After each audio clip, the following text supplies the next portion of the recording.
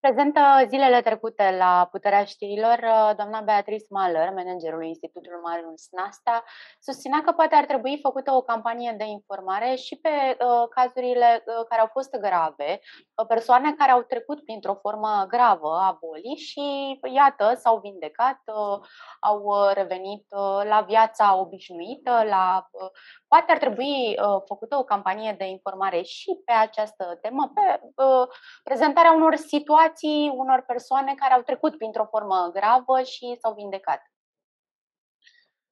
Cum vedeți? Sigur, orice, orice uh, argument și orice situație care îi poate face pe oameni să înțeleagă gravitatea acestei boli e binevenită. Uh, cred însă, și nu e doar opinia mea, este opinia Uh, majorității specialiștilor din sistemul medical, uh, tot ceea ce înseamnă uh, responsabilii, persoanele cu responsabilități de la nivel european, din cam toate țările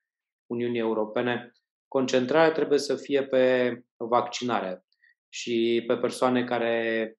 s-au vaccinat și au făcut o formă foarte ușoară, a căror viață a fost salvată, care fără, dacă nu s-ar fi vaccinat, probabil că ar fi fost într-o situație mult mai dramatică poate asemănătoare cu cea pe care dumneavoastră ați uh, amintit-o, asta în cazul fericit în care o persoană nevaccinată, trecând printr-o formă gravă, a avut uh, șansa să trăiască și să își revină datorită personalului medical, datorită felului în care a înțeles să ducă la timp la spital. Și aici e o chestiune importantă. Sigur, noi trebuie să ne concentrăm pe vaccinare, da. Am început acest dialog prin a spune că trebuie să înțelegem și eu pot să înțeleg uh, chiar dacă promovez intens ideea de vaccinare și încerc să-i conving pe cât mai mulți români, că sunt oameni care pur și simplu cu convingeri puternice uh, sau chiar pe contraindicații medicale și am cunoscut astfel de oameni, nu pot să se vaccineze sau nu doresc sub niciun chip să se vaccineze, dar atunci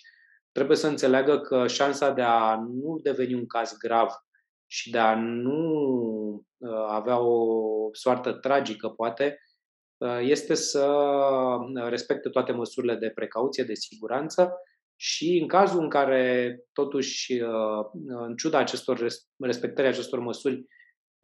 se infectează, să meargă foarte repede și să solicite sfatul medicului, iar atunci când lucrurile devin mai serioase, să meargă la spital și să se trateze așa cum trebuie, pentru că Ați văzut inclusiv în cazuri mediatizate, celebre, chiar uh, oameni din mediul artistic, uh, oameni îndrăgiți, oameni care și-au pierdut viața, pe care i-am regretat. Uh, uh, lucrurile s-au întâmplat și pentru că uh, au refuzat ideea că ar putea avea COVID, au refuzat ideea că pot să meargă la spital și când au mers la spital, uh, în ciuda faptului că medicii și-au dat toată silința și pentru că îi îndrăgeau pe acești oameni, n-au mai putut fi salvați.